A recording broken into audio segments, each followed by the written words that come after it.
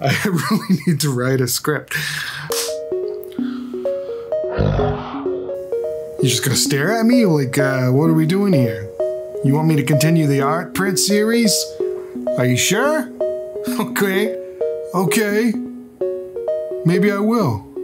Okay. It's been a couple months. Okay. I, you know, oh, I promised I'll do it, so I'll do it. Okay.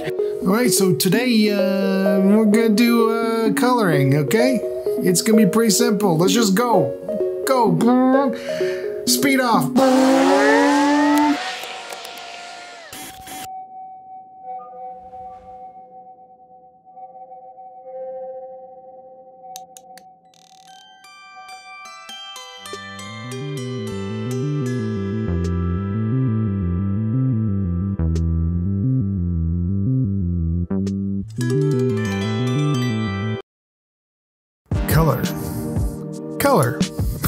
Like color. How about you?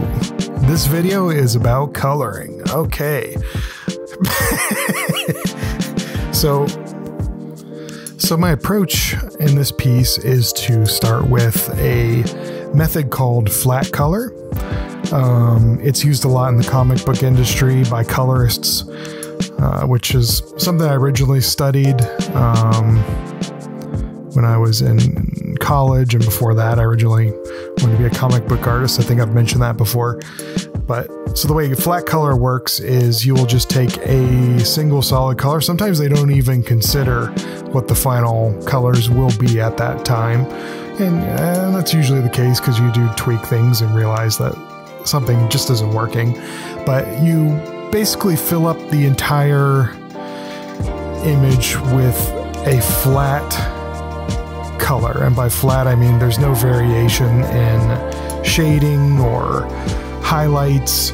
It's just that single hue color. So you won't want to change that if you want something to be the same color. So uh, later on, you can take like the magic wand in Photoshop and Clip Studio and do a selection on that layer and it'll just automatically highlight that entire color. Anywhere that it is on the page, it'll pick that color up if you have the right settings turned on.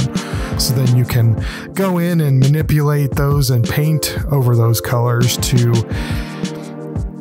you know work on texture or shading, highlights, uh, bounce shadows, whatever you need to do. Um, so it's it's a really nice technique. It gives you a lot of customizability and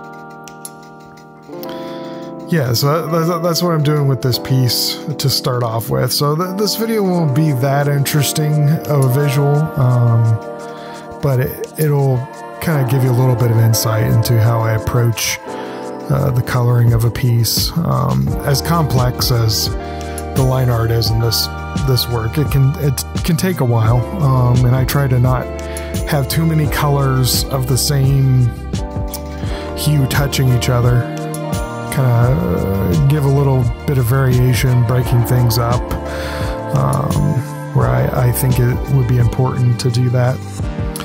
Um, the tool that I'm heavily using in this video is called the bucket tool. Um, this is specific to uh, Clip Studio Paint. Um, there's ways to do this in Photoshop, but it just isn't as efficient. Uh, basically, with the bucket tool in Clip Studio Paint, I think my kids are being silly in the background. Um, so the the fill bucket in Clip Studio will do an area expand underneath the line art that you're referencing. So it'll automatically keep the the, the it'll automatically fill the color in in between the lines, and it will also expand underneath. So there's no like hidden. Uh, pixels that didn't get filled, which is something that happens in Photoshop a lot. And you can do an expand fill in Photoshop, but this, I, have noticed this does a way better job than Photoshop. You can kind of tweak the the settings on the fly for how large the area expansion is.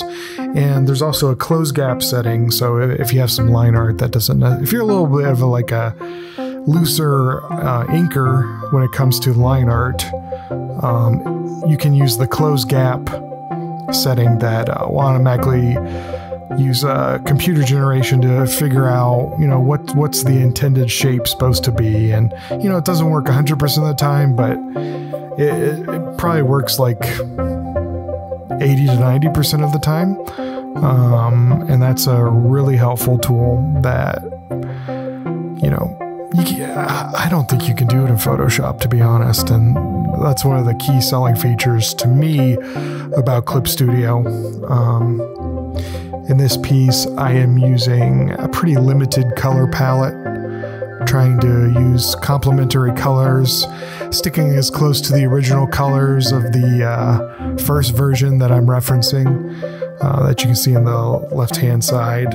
Um, but I decided to introduce a little magenta and some orange and some variation of shade of the purples and greens and and yellows um, just to make it a little more exciting and since I have a lot more going on in this piece than my original that I'm referencing, you know, I wanted to be able to have more color to break up the shapes. So it's since it's very shape heavy um, and unique shape heavy, I wanted that all that stuff to pop out. And if I've got too many, co- if I don't have that many colors to work with, covering such a large area with all these little tiny pieces, you know, there could be a lot of re- repetition that I don't want. Um, so that's one of the reasons I decided to introduce new colors.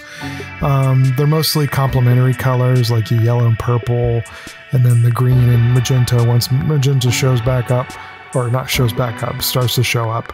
Um, there I started to add like a kind of a peachish orange, which for some reason is my favorite color right now. That's the, that's the color I'm really digging right now. Is like this orangey pink. I don't I don't know why, but it's probably just a phase, and I'll start liking another color color. But um, yeah, when it comes to color selection, I I just am really drawn towards bright bright hues um, in my traditional and in my digital painting. I don't really know what draws me to that. I do like things popping. Um, and bright colors definitely do pop.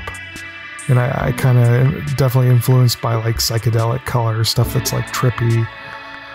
Um, yeah, I, I think I think there's a lot of styles of painting and art, and I just prefer to be on the side of poppy, bright colors it's fun to me. Okay, it's it's it's what I like.